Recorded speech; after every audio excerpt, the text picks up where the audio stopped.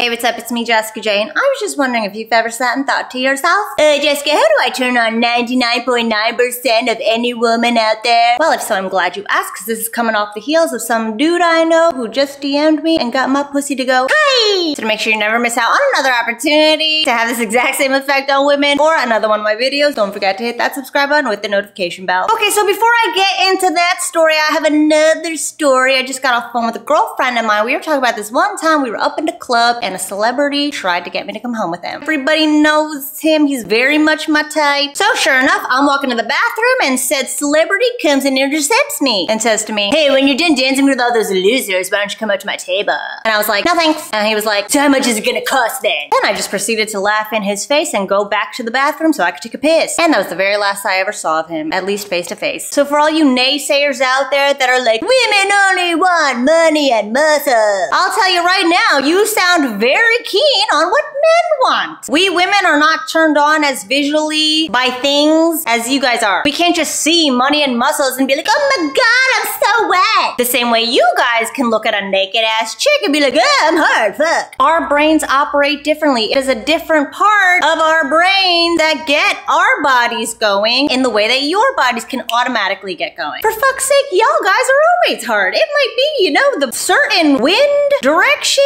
or you'll wake up with it y'all are so lucky. For us, it's different. Oh yeah, so back to this dude who DM'd me. So basically, this dude and I, we talked in the past. We've been on a few dates. I really didn't like him. He's super negative, super arrogant, very rude to the wait staff. I don't know, I just, I wasn't like attracted to him at all because of his personality. However, because he has this arrogant frat boy-esque to him, him and I could shoot the shit like we were friends. Because all my guy friends are like that. Because my father was like that. I was basically raised by a 20-year-old frat guy. Either this man has never been shy about letting me know just how much he wants to fuck me. Again, I don't like him. I don't like him at all. I think he's a bad person. But we could share some laughs. We've got the same perverted sense of humor. So he DMs me and simply says, I jerked off to a picture of you last night. And mind you, rational Jessica is like, ew. But for some reason, my pussy was at full attention. I literally looked down and was like, what? And the reason that is so is because we women are turned on when we feel